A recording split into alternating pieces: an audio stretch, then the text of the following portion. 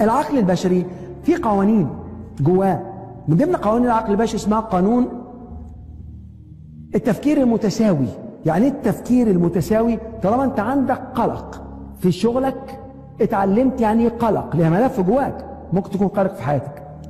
حياتك الشخصية في حياتك المهنية في حياتك المادية في حياتك الصحية. كل ما تيجي تعمل حاجة تقلق. والقلق عبارة عن إيه؟ حاجة ما حصلتش. فده قلق من حاجة لسه ما حصلتش هتيجي في المستقبل. وده القلق زي ما قلت لكم قبل كده. طب وكل الضغوط النفسية من الماضي؟ لأن ده اللي أنا اتعلمته.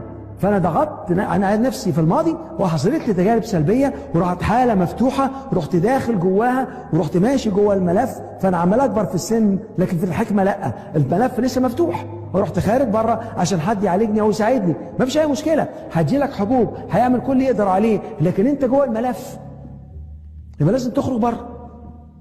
عشان تنفصل ودي اسمها الانفصال والاتصال. إن لم تنفصل عن ملفاتك العقلية لن تغلق. لأن في حاله اول ما أخرج عنها من بره وابص عليها أبدأ أتحكم في أحاسيسي ببص لها بطريقة موضوعية وبعدين أقول اتعلمت من إيه طب لو رجعت تاني للماضي أتصرف تاني إزاي بطريقة مختلفة؟ ودي هنعملها إن شاء الله استراتيجية اسمها استراتيجية تغيير الواقع. هل ممكن انسان ممكن يغير واقعه؟ هل ممكن انسان يغير الواقع؟ ما حدش يقدر يغير الماضي ولكن ممكن اغير إدراكي في الماضي ممكن اغير الواقع في الماضي. يعني ممكن بعد كده ابص الاقي أنا حسيت لي مصيبة هنا. ممكن أغيرها؟ ما خلاص حصلت لكن ممكن أغير إدراكي فيها. ممكن أتعلم منها.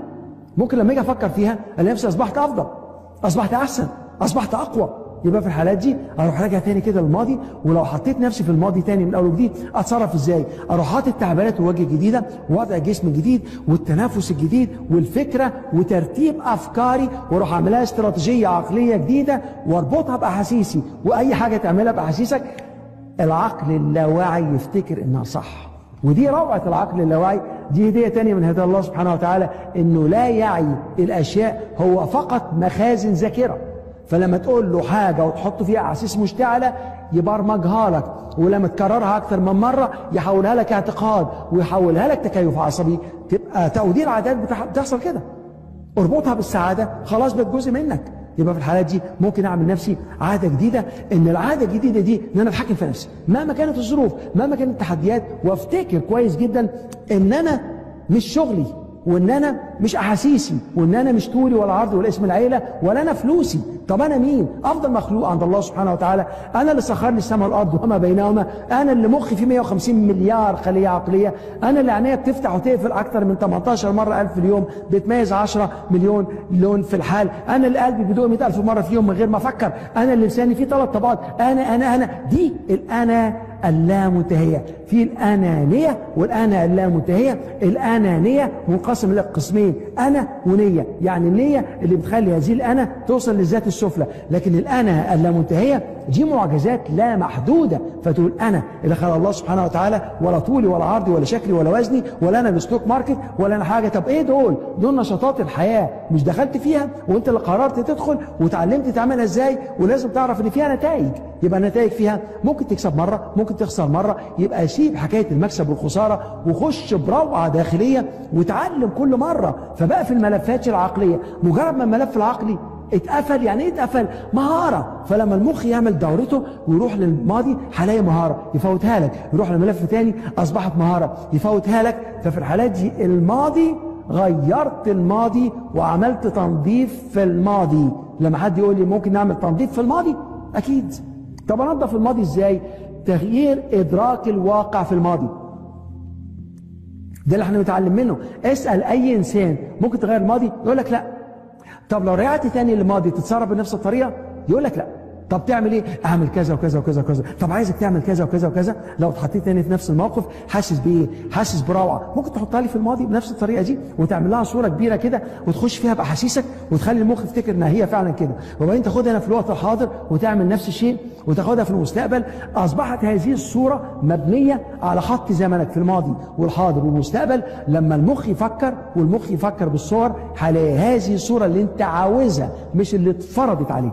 يبقى في الحالات دي وصلت لمرحلة عندك تحكم في الذات. فدي قوة التحكم في الذات. تعرف إن الإنسان بيفكر بالصور وهذه الصورة رحت أنا داخل فيها ووضبطها بالطريقة اللي أنا عاوزها. المخ بيفكر بالصور.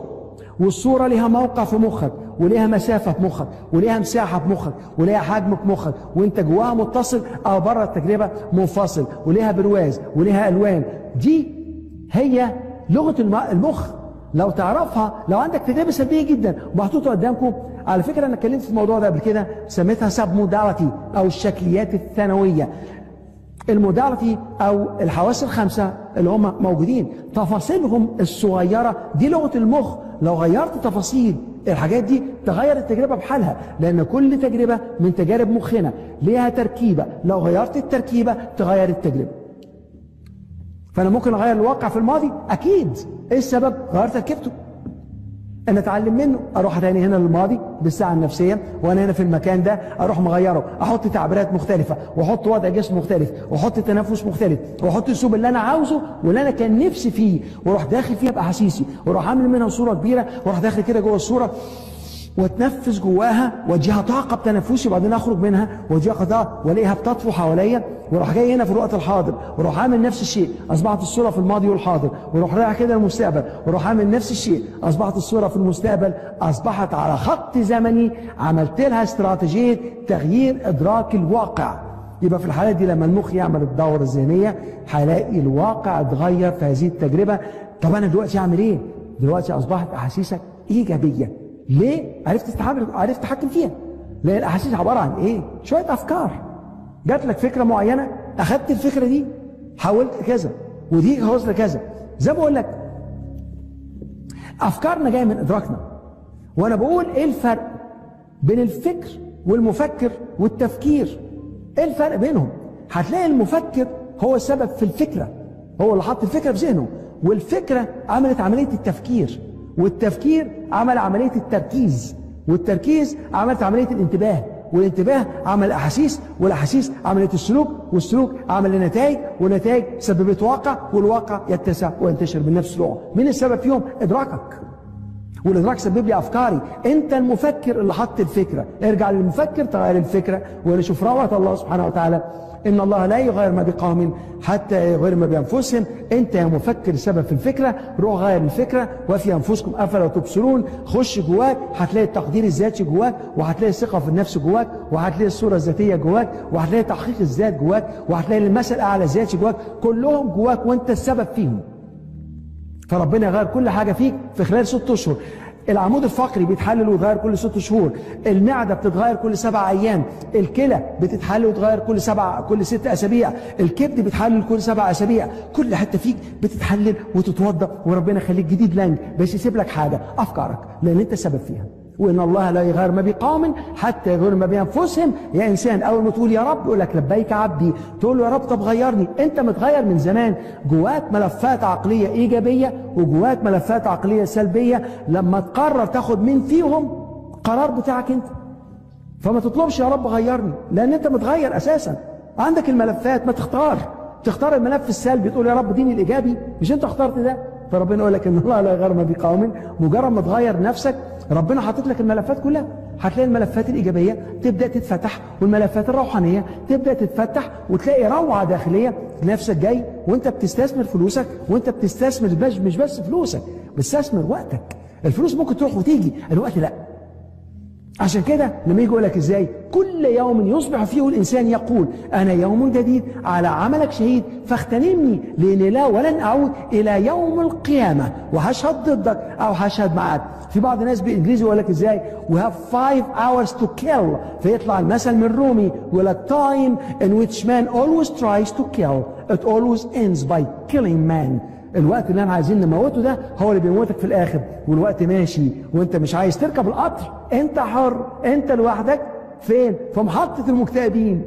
هتلاقيهم كلهم مكتئبين زيك. القهوة مكتئبة وكلهم مكتئبين وتاخد واحد شايل المكتئبين ويحط لك غيره عبد الحليم نار وتبقى مكتئب كده وبعدين تجيب خمسين واحد تاني معاك ويجي لك تخلف وتخرج تعالج بالاختيار. ولكن القطر ماشي. فلما تدوس لا أنا اتدبست في حاجة عملت لي إحساس سلبي غير إدراكك في اللي حصل غير إدراكك في الواقع غير التجربة في ذهنك اتعلم منها حولها لمهاره هتلاقي العقل البشري يقول لك الله دي قدرات بقى. آه طبعا لأن كل واحد فينا ماضيه عبارة عن إيه بالنسبة له؟ خبراتك. تجاربك. ما كلنا بنخطئ ولو ما أخطأتش ما عندكش لا تجارب ولا عندك خبرات ولا عندك قدرات ولا تقدر اطلاقا إنك تتحكم في شعورك وأحاسيسك. عشان كده اللي أنا بقوله باستمرار عشان توصل لأعلى درجة من الأحاسيس الإيجابية لازم تعيش كل لحظة كأنها آخر لحظة في حياتك لأن والله ممكن تكون آخر لحظة في حياتك فعيش بحبك لله سبحانه وتعالى عيش بتطابق باخر الرسول عليه الصلاة والسلام والرسل والأنبياء والصحابة ولا الصالحين طب وبعدين؟ اقرأ اعمل إيه يعني؟ اتعلم وحسن نفسك كل يوم خلي عقلك تحليل يكون أفضل. طب وبعدين حطها في الفعل ولما تحطها في الفعل اعمل الأخوة الثلاثه القوة الثلاثية إنك على طول تكون ملتزم بيها وتكون مصر عليها وتكون منضبط فيها وبعدين خليك مرن فيها وعيش بالصبر وخصوصا عيش بالحب وقدر قيمة الحياة. والسلام عليكم ورحمة الله.